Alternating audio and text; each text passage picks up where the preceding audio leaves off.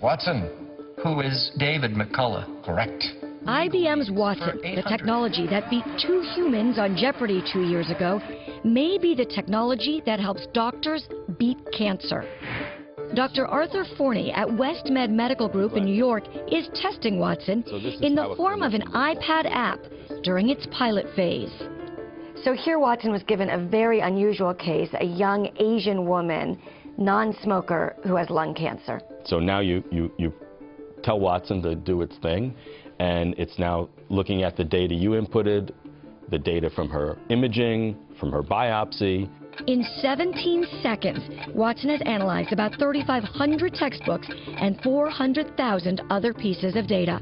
This is the screen where it shows you that after looking at what you have so far, it would consider that you do several other things for the patient that it doesn't see yet in the chart. In an instant, Watson has figured out what caused this cancer.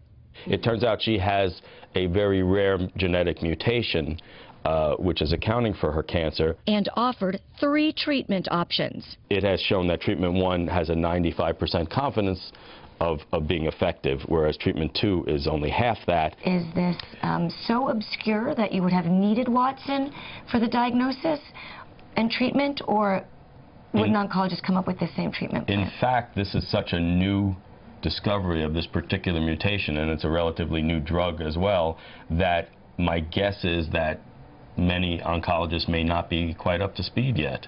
Watson gets its wisdom from Dr. Andrew Seidman and a team at New York's Memorial Sloan Kettering Cancer Center. 1,500 lung cancer cases so far, and breast cancer cases as well. Lab results, physician's notes, and clinical research have been fed into the supercomputer, along with medical journals and textbooks.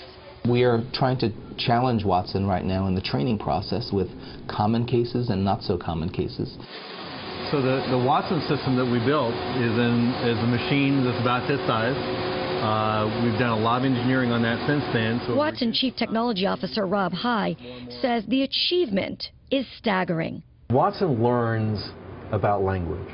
And that's the really profound breakthrough here is that it is in the language that we understand each other. That breakthrough and Watson's remarkable accuracy could help doctors eliminate unnecessary procedures and costs and disrupt the $2.8 trillion healthcare industry. It's a partnership between physician and patient, between information technology and the healthcare environment. I think it is a game changer. It can aid the physician in, in a way that's nothing we've ever had before.